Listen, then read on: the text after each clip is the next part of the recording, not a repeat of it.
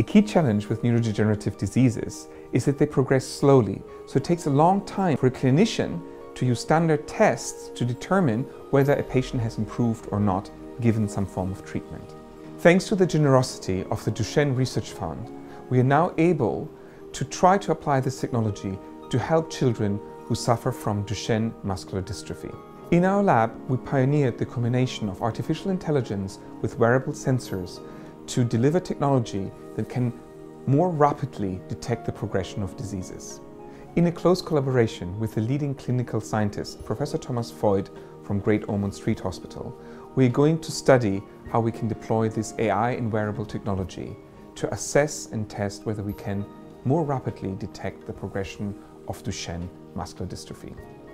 We're conducting a 12-month long study where children are going to wear sensors 24-7 so we can measure their movements and their ability to interact with the world.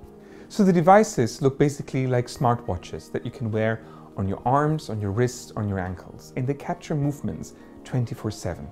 This is basically like having your personal neurologist looking at you in a clinical assessment every day, every night, and then deploy artificial intelligence to make sense of these patterns and detect whether we can see progression of a disease or not.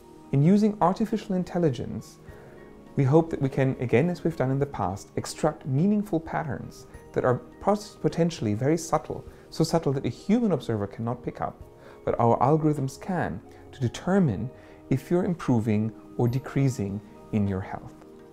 These technologies can then be used to help people who suffer from rare diseases such as Duchenne muscular dystrophy. Our aims are twofold. First, we want to replace subjective assessments carried out by humans observing somebody else with objective artificial intelligence markers. And second, using these markers, we hope to be able to reduce the amount of time it takes to detect disease progression. If we can reduce this amount of time by half, we would effectively cut in half the cost of clinical trials for any pharmaceuticals developed to address this specific disease.